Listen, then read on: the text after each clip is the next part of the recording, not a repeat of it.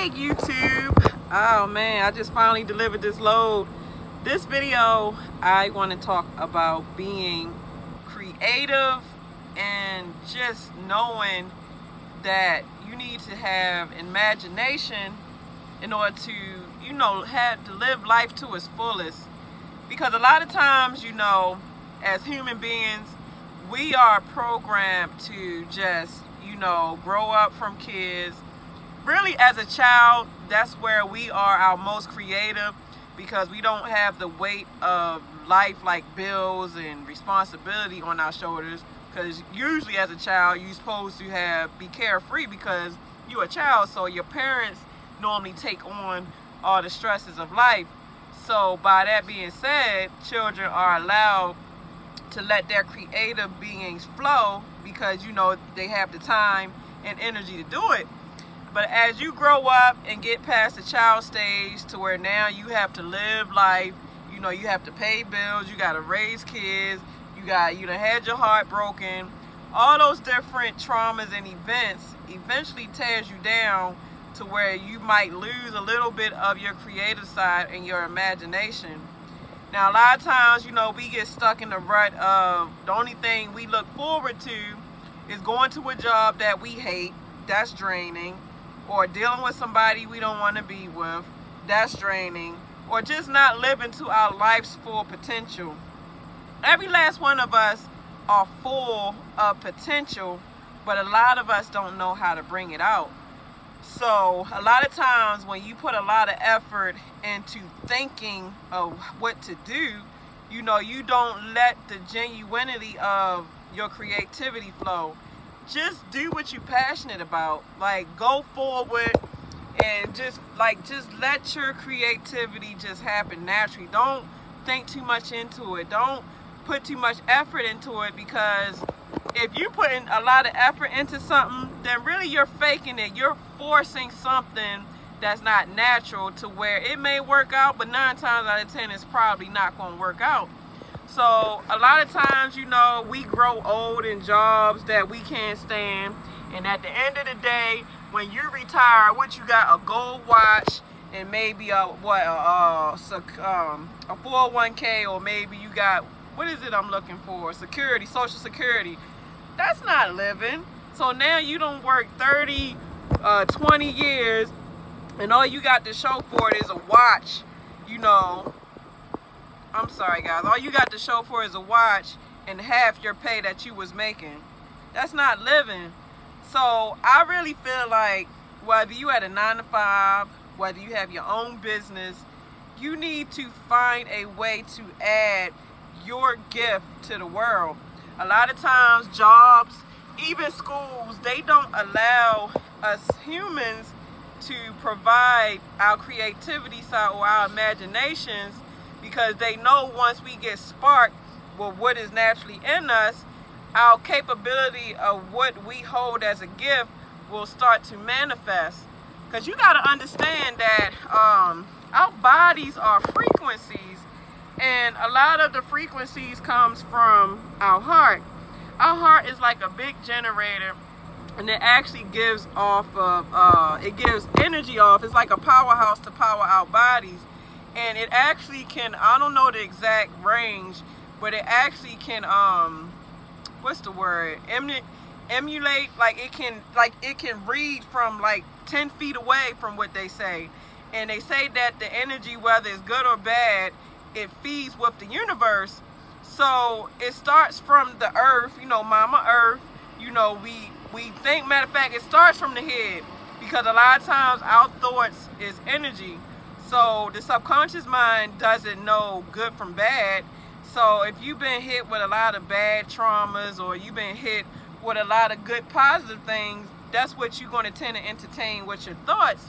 So by you thinking that, now those thoughts then turned into energy to where it has to work its way through your body. It works your way all the way down to your feet. And from your feet, it goes into Mama Earth, which then Mama Earth emits it back out into the universe and then the universe gives it back to Mama Earth, then Mama Earth gives it back to us, which causes law of attraction. So if you are attracting bad things in your life, like maybe you attracting bad men or bad women, or you attracting bad luck, like things just never seem to go your way, you need to seriously sit down and evaluate what are you thinking about? Because that is some true stuff. Like just test it out. That's why a lot of times i really feel like people need to meditate because meditation is when you let everything go you sit in a comfortable surrounding and you take like maybe five however many minutes you decide to take and you take that time to just think about nothing either you think about nothing or you think about something really positive you get in a grateful spirit. You get into being having gratitude.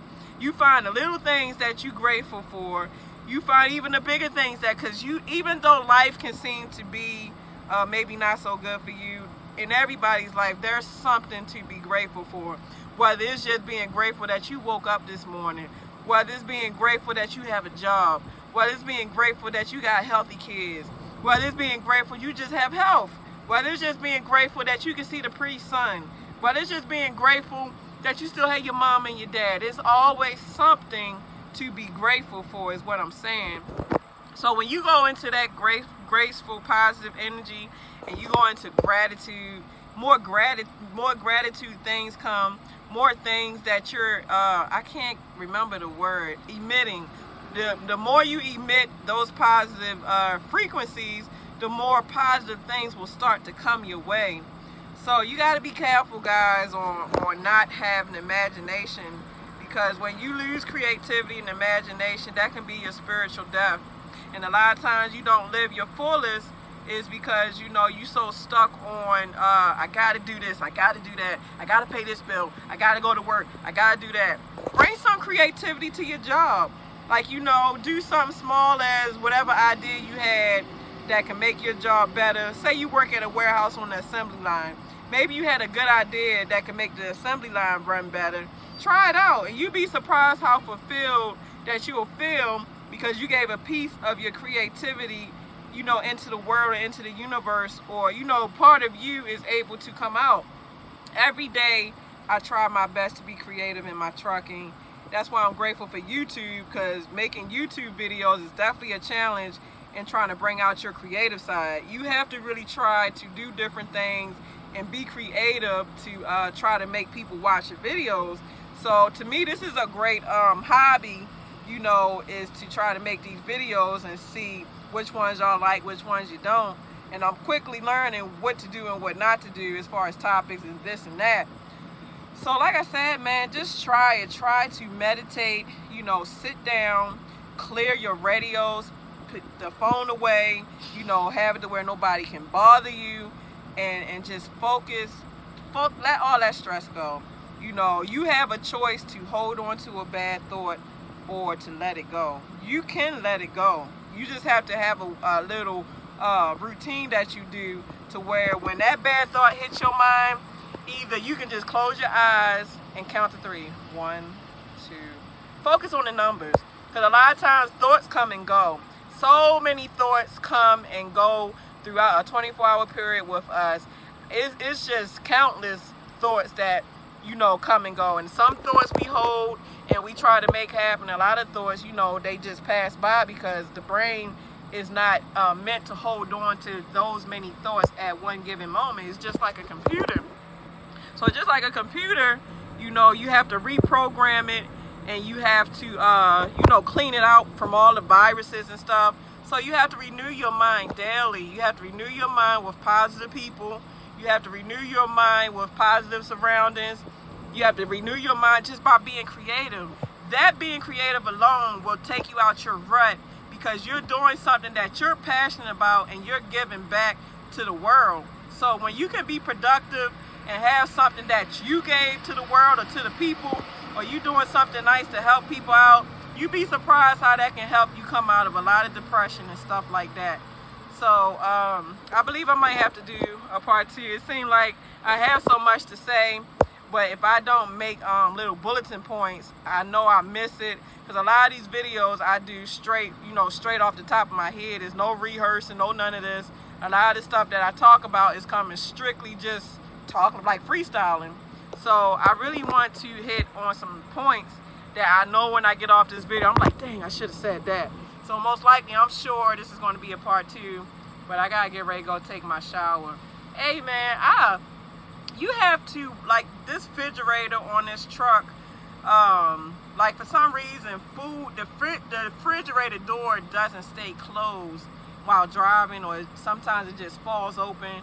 So depending on what type of food you might have, the food can fall and like remnants of food can fall in like in the front of the refrigerator where the little um, let me see like the little you know this plastic carpet where that plastic carpet is but check it sometimes because you have to lift it up to make sure that no food went bad back there because I always keep my truck clean I cleaned my floors and I scrubbed it down with bleach but I still kept smelling something that was like um, it smelled like something rotten. And I was like, man, where the hell is the smell coming from? I know I cleaned my truck, but when I opened my refrigerator, because you know, I try to do all the crevices of my truck. So I do inventory to make sure that I don't miss no spot as far as vacuuming, sweeping, and wiping down.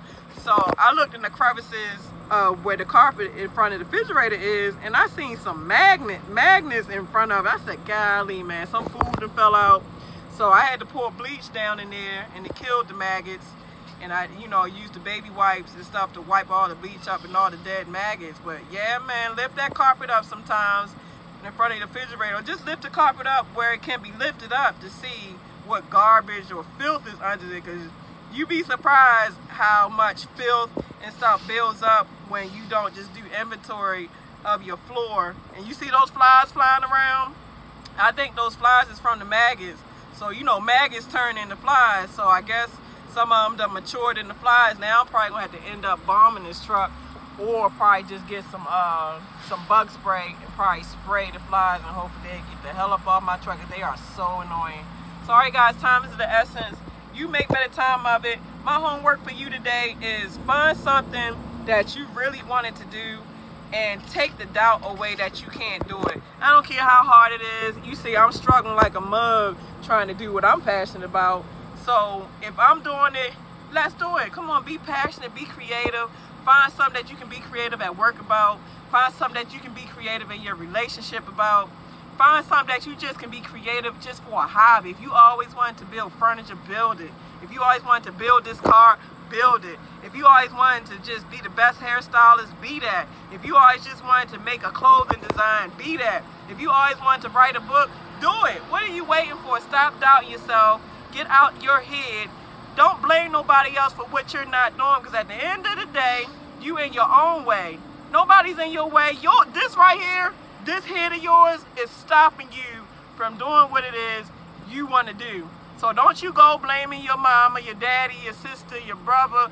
Don't go blaming your man, your girlfriend. Don't go blaming your friend, your dog. Don't go blaming a job, your boss. Because at the end of the day, guess what? If you really want to do something and you really, really want to do it and trust and believe, if you got sick, really sick and tired, you'll do it. Because obviously you're not tired of it. If you was really tired of it, then guess what? You make it happen. Because I know when I get really tired of something, shit gonna get done because I'm sick of it. When you get to where you're sick of it, stuff will start happening. That's when that creative mode will come out. That's when you'll start, and your imagination to start to work because now you have to do it.